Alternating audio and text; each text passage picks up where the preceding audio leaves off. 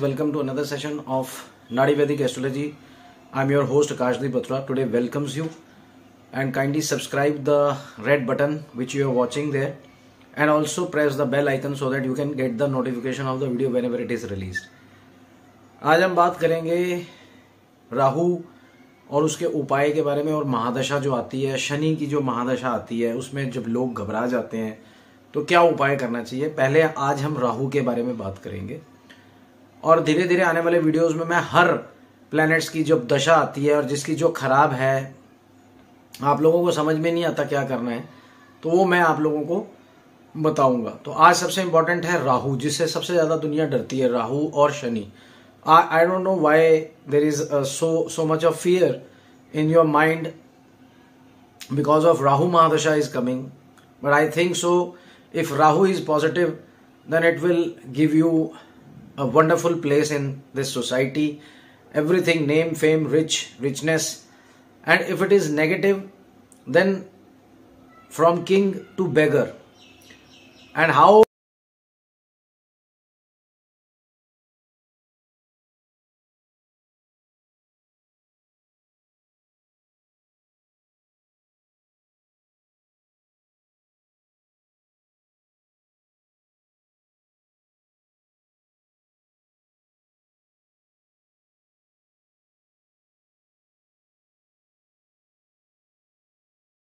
हाँ तो गाइज़ जैसे मैंने आप लोगों को इंट्रोडक्शन में बताया है कि आज हम बात करेंगे राहु के जितने भी उपाय हैं। राहु है, उसका कोई अपना घर नहीं है। It is a shadow planet basically as told by the Vedic astrologer और प्राशर जी ने जो बताया है। और लाल किताब लिखने वालों ने भी यही बात बोली है, नाड़ी में राहु को हम राहु मानते हैं। कोई शेडो प्लेनेट नहीं मानते, कुछ नहीं मानते। पर मैंने तीनों एस्ट्रोलॉजीज को बड़े ध्यान से परखा है और बड़ी एस्ट्रोलॉजी में रिसर्च करी है। तो Rahu is a shadow planet of Saturn and all the people in Vedic chart Vedic astrologers all the people who practice Vedic astrology they say कि that Rahu is a shadow planet of Saturn Rahu and Ketu it is a dragon's head and Ketu is its tail it has been divided between two parts Rahu and Ketu and uh, and they act according to the saturn. But today i will tell you how they act. Rahu always act as on which sign it is in. If it is posted in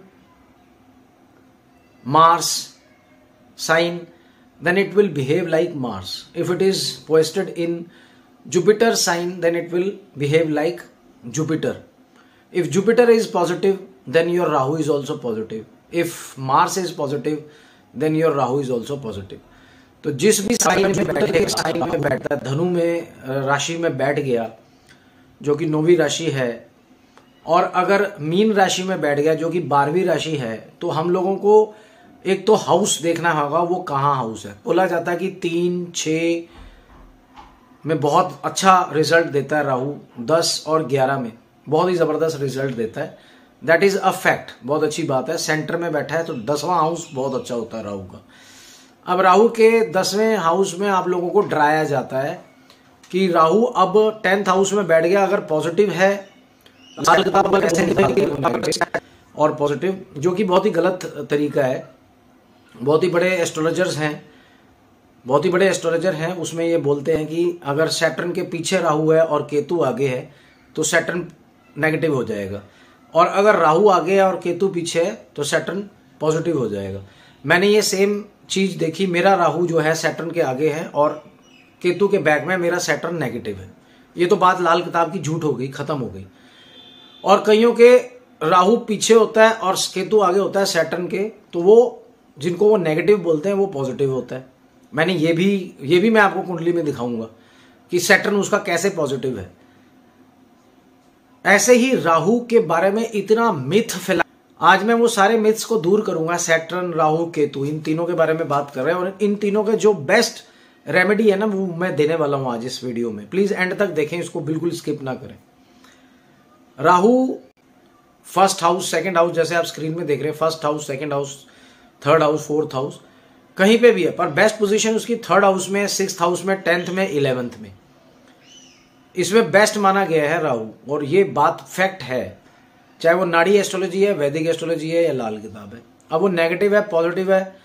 वो negative positive ऐसे होता है कि वो नक्षत्र, अगर राहु अपने ही नक्षत्र में बैठा है तीन तो वो नेगेटिव होगा। अगर वो बुद्ध के नक्षत्र में है या बुद्ध की राशि में है, वो पॉजिटिव होगा कि नहीं होगा I cannot give you the guarantee as per Vedic astrology पर अगर आप नाड़ी एस्ट्रोलॉजी के अंदर हम कैलकुलेशन uh, निकालते हैं उसके हाउसेस अगर two ten two ten eleven आ रहे हैं तो वो पॉजिटिव है। और आपकी जो दशा है ना राहु की वो पहले अंतरदशा में आ चुका होगा मंगल की। तब राहु को चेक करना आपने आपके उस साल में क्या हुआ था। अगर आपका राहु आते ही उस साल में मंगल की अंतरदशा में राहु ने आपके साथ गड़बड़ करी थी तो वो दशा में भी सेम बिहेव करेगा। अगर राहु मंगल की किसी राशि में है मेष राशि में है या वृश्चिक राशि में, बोला जाता है वृश्चिक राशि में नीच का केतु वृक्ष राशि में नीच का। पर मेरे दोनों हैं, केतु वृक्ष राशि में और राहु वृश्चिक राशि में, और मेरे दोनों ही बहुत पॉजिटिव है। केतु मेरा फोर्थ हाउस में, मेरी प्रॉपर्टी होनी नहीं चाहिए, तीन प्रॉपर्टीज़ है। राहु मेरा टेंथ हाउस में नेम फेम बहुत फ़ेमस आदमी हूँ।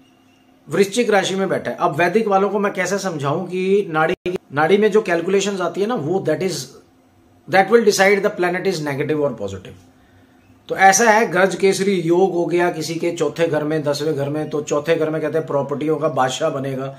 और मैंने उन्हीं को ही भीख मांगते देखा हुआ है। जिनके गज केसरी योग है, चौथे घर में या किसी भी घर में। इलेवंथ हाउस में गज केसरी योग है, बंदा भीख मांग रहा है। तो नेगेटिव है वो पॉजिटिव है, ये हमारा नाड़ी एस्ट्रोलॉजी में पता चलता है। It is a mathematical calculation ये कोई नहीं है कि मैं नाड़ी चेक कर रहा हूँ मैं आपकी। It is a mathematical calculation तो मैथ्स की कैलकुलेशन आती है, जैसे डिग्रीज की कितनी कितनी डिग्रीज पे है वो, कौन से नक्षत्र में है, उनकी एक मैथमेटिकल कैलकुलेशन है। तब नाड़ी की सारी कैलकुलेशन निकल के आती है। जैसे कि राहु की दशा पीरियड आई तो टू सेवन टेन इलेवन अगर आ गए, या टू इलेवन भी आ गया टू टेन भी आ गया तो भी वो राहु पॉजिटिव है। अगर फाइव एट ट्वेल्व या सिक्स एट ट्वेल्व हाउसेज में नहीं आ रहे हैं। ये हाउसेज अगर नहीं आ रहे हैं कैलकुलेशन में पर अगर टू टेन इलेवन के साथ फाइव एट ट्वेल्व भी आता है तो जितनी इनकम होगी, उतना खर्चा ज़्यादा होगा उसका। नुकसान भी हो सकता है। पर राहु के अंदर अगर पॉजिटिव है राहु तो वो किसी भी घर में है किसी भी राशि में है, अगर नाड़ी के अंदर वो टू टेन इलेवन बता रहा है तो इनकम के मतलब बहुत तगड़ी इनकम करवाएगा। और वो मंगल के बीच में आ चुका है आपके। अगर आपकी एज फिफ्टी है फिफ्टी फोर है तो मंगल में आप भोग चुके राहु को, देखना कि राहु कैसा बिहेव करा।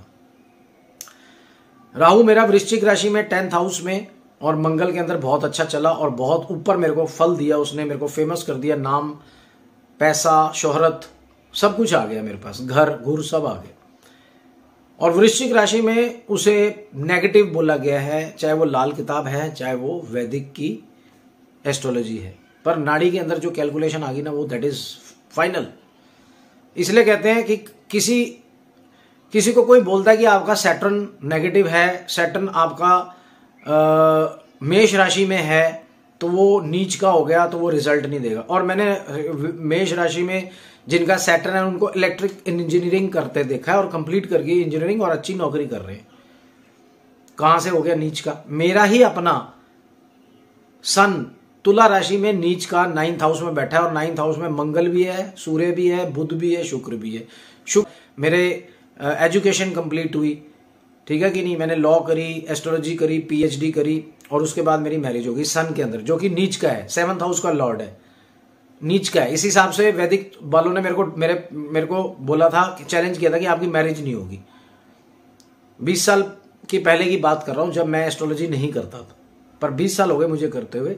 मैंने फॉलो किया और अपने आप को अपने इलाज करे। मैंने ये पत्थर रतन के कॉम्बिनेशंस पहने हुए हैं। मेरी मेरी जो कुंडली है, दो दस है, बस स्टेटस ही स्टेटस है, और कुछ नहीं है इनकम है नहीं गई पर आज की डेट में मेरे पास सब कुछ है, दो घर, तीन घर हैं, दो ऑफ़िस हैं, गाड़ियाँ हैं, सब कुछ है। मैं हवाई जहाज़ में आता जाता हूँ, मेरी ऊपर वाले की रहमत है। अपनी कुंडली को ठीक किया ट्रीटमेंट्स के थ्रू। कुंडली में मेरी डार्कनेस थी ज़ीरो था ब्राइट बिल्कुल नहीं थी मेरी कुंडली। टू टेन से ऊपर था नहीं। अगर हम नाड़ी में भी जाएँ तो टू टेन में तीस हज़ार, बीस हज़ार रुपये से ऊपर कमा नहीं सकता बंदा कोई भी। स्टेटस हाई रहता है उसमें क्योंकि टेन नंबर है ही स्टेटस का name fame eleven is the income gain desire जितनी भी पूरी होती है वो इलेवन से ही होती है. तो अगर किसी की नाड़ी कैलकुलेशन में हर घर में टू टेन इलेवन आ रहा है तो इनकम तो उसकी लाखों में जाएगी. और अगर नहीं जा रही है तो वो नेगेटिव है. ना, नाड़ी में पता चलेगा वो नेगेटिव है या पॉजिटिव है. और अगर फाइव एट ट्वेल्व आ रहा है बीच में टू टेन इलेवन के साथ भी तो उसकी जितनी इनकम है उतना ही खर्चा है. तो ट्वेल्थ हाउस देखते हैं वैदिक एस्ट्रोलॉजी के अंदर कि उसका खर्चे वाला घर क्या है, क्या नहीं है। तो ये तो होगी कुंडलियों की बात। अब जो सबसे बड़ा इलाज मैं आपको बताने जा रहा हूँ राहु का, जो बहुत ही जल्दी इलाज आपका, जो आप कर सकते हो, सबसे पहला इलाज है कि फिशेज एक्वेरियम के अंदर फ़िश आप फ़ीड करो उनको। फिशेज को आप, अगर आप गाँव में रहते हो तो रिवर में, या आपके आसपास शहर में कहीं पे भी रिवर्स है या लेक्स हैं तो फ़िश को आप आटा खिलाएँ। और नहीं तो अपने घर में एक्वेरियम रख के फिशेज को दाना दें। सेकेंड थिंग कोड़ियों के आश्रम में जाकर के सैटर्न के लिए सैटरडे वाले दिन, और अगर मंगल का कोई भी, वो हम तय करेंगे कि कौन सी राशि में बैठा है वो। तो उस दिन को हम बताएँगे आपको कि राहु का जो सबसे बड़ा इलाज है, जिससे राहु का आशीर्वाद मिलेगा, जिससे राहु खुश होता है, सरस्वती माँ खुश होती है। एक तो आप अपने टीचर्स की, बच्चों को पढ़ाई की तो कुछ है ना, किताबें पेंसिल बुक्स बांटा करो। तीसरा इलाज, सबसे बड़ा इलाज जो मैं आपको बताने जा रहा हूँ, वो है कौड़ियों की सेवा, सच्चे मन से। उनका जब आशीर्वाद मिलेगा ना आपको तो आपको आपकी नींद, जो डिप्रेशन है, जो आपका चैन खो गया है कंफ्यूजन हो रही है इनकम खो गई है मैरिज मैरिटल मैरिज नहीं हो रही है, या कोई भी आपके प्रॉब्लम है, राहु की महादशा आई है नेगेटिव है अगर आपका राहु पॉजिटिव वालों को तो चिंता करने की ज़रूरत नहीं है। अगर पॉजिटिव वाले भी जा आते हैं राहु के लिए कौड़ियों के आश्रम में दान करते हैं तो उससे बड़ा कोई ट्रीटमेंट नहीं है। उससे भी बड़ा ट्रीटमेंट होता है कॉम्बिनेशन ऑफ़ स्टोन्स मैंने राहु के लिए दो स्टोन्स पहने हुए हैं। ये देख सकते हो आप। दो स्टोन्स है मेरे पास। राहु की मेरी दशा शुरू हुई है बीस तारीख को। और चाहे वो पॉजिटिव है नेगेटिव है मैं आपको सब दिख, दिखा चुका हूँ। मेरा पॉजिटिव है क्योंकि वैदिक के हिसाब से वो नेगेटिव है, लाल किताब के हिसाब से वो नेगेटिव है, पर मेरा पॉजिटिव है। मैंने पॉजिटिव करा हुआ है उसको। ठीक है कि नहीं? और मेरे को बहुत अच्छी इनकम होती है, जब भी राहु की दशा आती है या अंतरदशा आती है। तो कौड़ियों के आश्रम में मेरे को जाते हुए दस साल हो गए। वो मुझे पहचानते हैं बड़े बड़े लीडर्स का भाषण छोड़ के मेरे पास आ जाते हैं जब मैं उनके लिए कुछ ना कुछ खाने के लिए लेकर के जाता हूँ। मैं उनको सच्चे मन से खिलाता हूँ। हर सैटरडे जाने की कोशिश करता हूँ। क्योंकि मेरा सैटर्न खराब है तो मैं सैटर्न सैटरडे वाले दिन जाता हूँ ताकि सैटर्न का भी ट्रीटमेंट मेरा हो जाए। सैटर्न का भी सबसे बड़ा ट्रीटमेंट ही यही है।